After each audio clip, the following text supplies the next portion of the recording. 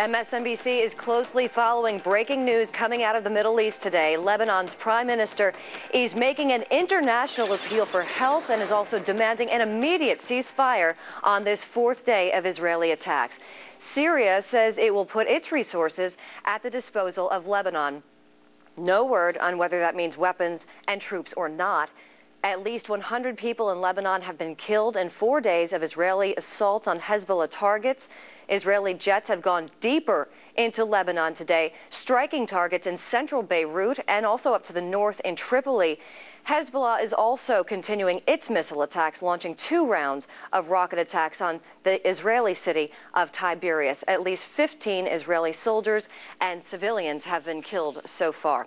Meanwhile, the Arab League said today that after an emergency meeting of foreign ministers that the Middle East peace process has failed and called on the United Nations Security Council to intervene to stop the escalating violence. Joining us now from New York is Raghida Dergham, uh, and Raghida is a senior diplomatic correspondent for Al Hayat newspaper and an MSNBC analyst as well. Raghida, uh, this means for the first time that Arab leaders, in this case from Saudi Arabia and also Egypt, criticized the act of Hezbollah before criticizing Israel. Yes, and that's very important. Actually, the Arab uh, group, the Arab leaders are divided into two camps. Uh, that one, as you mentioned, led by Saudi Arabia and Egypt, saying uh, there is a sovereignty to be recognized, but that's the sovereignty of a state, not the sovereignty of a militia. And uh, there is a distinction, they're saying, between uh, legitimate resistance and uh, somehow dragging a country into a war. And therefore, this is a noteworthy position they're taking, criticizing Hezbollah. they are faced by another camp. Of course, uh, there is the Iranian, Syrian, uh, Qatari uh, camp, and those are taking the opposite position. In the meantime, in the meanwhile, the international community is trying to emphasize through its efforts the issue of sovereignty and the issue of disarming of militias, both Lebanese and non-Lebanese militias, in accordance with Resolution 1559. So basically, we have more moderate Arab states on one side uh, and more extremists on the other, and it's all at a basic standstill at this point. Um, let me ask you this. Do you believe that the roadmap to Middle East peace is now just dead?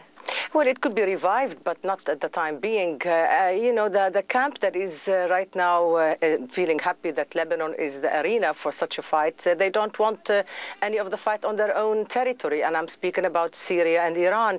Certainly, there are parties concerned directly in the conflict because of the relationship with Hezbollah, but I don't see any signs that the Iranians and the Israelis are going to be into a confrontational mood.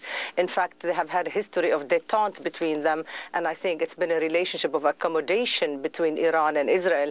Let's see how that plays out. Maybe Syria is a different story, uh, if particularly if Syria somehow does not uh, uh, pay attention. But the Israelis and the Syrians have also had an interesting uh, relationship of a quiet. Uh, as far as they are concerned, it's fine that Lebanon pays the price, and that is the sad part of it. Yes, and the, the Prime Minister of Lebanon today pleading for some help from the United Nations and the international community. Let, let's expand on something that you were just talking about because I'm curious. When it comes to the different players in the Middle East, what is the level of respect that they have for one another? For instance, the Arab League saying this today. What is the reaction from Iran and Syria? Iran, of course, as you well know, is not part of the Arab League. It is not an Arab country, but it is a major player right now in the region. It, in fact, is trying to somehow sort out its nuclear ambitions with its regional aspirations.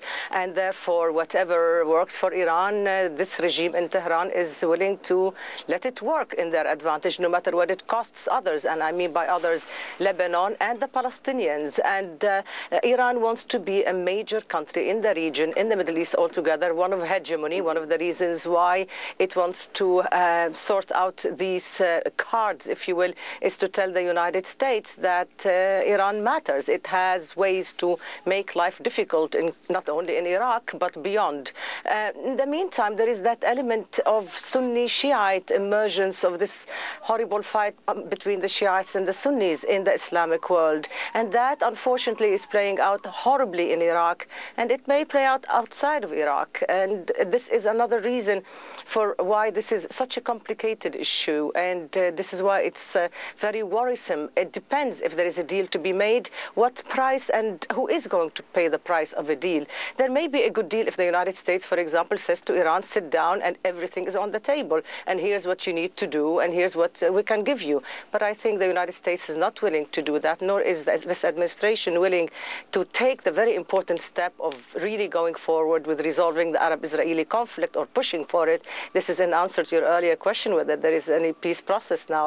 Uh, it is unlikely, but remember, in wars in the past, somehow these major wars led to um, a needed uh, uh, somehow formula for a solution. The solution has not been uh, achievable, but at least there was an attempt. So let's hope there is not a wider war, but let's also hope that Lebanon is not the only country that goes on to pay this very, very dear price. All right. Thank you. And Thank, we will see you again very soon. Right now, we want